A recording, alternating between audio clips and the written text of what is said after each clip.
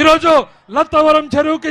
పల్లికి చిన్న ముస్తూరికి కోనాపురంకి మోపిడికి సీర్పికి బెలుగుప్పకి ఇప్పేరికి ముద్దలాపురంకి కరుట్లపల్లి చెరువులకి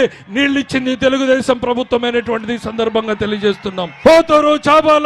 మరి కిందకొస్తే రేణుమాకులపల్లి నింబగల్లు వ్యాసాపురం కిందకెళ్తే జీడిపల్లి వరకు కూడా కాలువలు శరవేగంగా తవ్వింది తెలుగుదేశం ప్రభుత్వంలోనే అనేటువంటిది తెలియజేస్తున్నాం సైకిల్ గుర్తుకే ఓటు వేద్దాం మన కేశవన్నను గెలిపిద్దాం